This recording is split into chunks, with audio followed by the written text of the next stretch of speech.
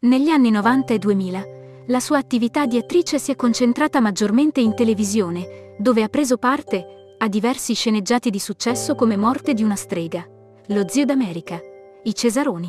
Nel 2003 esordisce nella regia cinematografica, con Uomini e donne, Amori e bugie.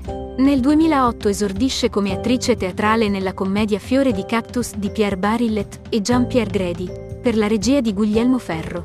Fiduciosa, ironica, il sorriso come antidoto alla malattia.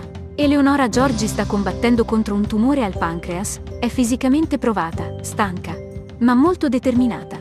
Lo ha raccontato ieri nel salotto di Verissimo, ospite da Silvia Tuffanin. Spero di tornare qui. I miei oncologi mi considerano un cyborg.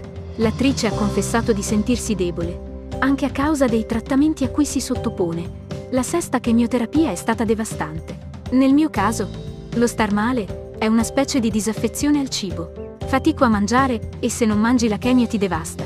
Il cancro è un mostro che, però, non affronta da sola, perché può contare sul sostegno e sull'affetto dei propri cari. Vengo da una famiglia maschile. I maschi sono molto riservati nell'esprimere l'amore. I miei figli erano discreti, ma questa cosa che è successa ha rotto gli argini. Mi coccolano. Mi sono vicini. Sotto il profilo umano è straordinario, ha spiegato. Sotto il profilo fisico reggo ancora.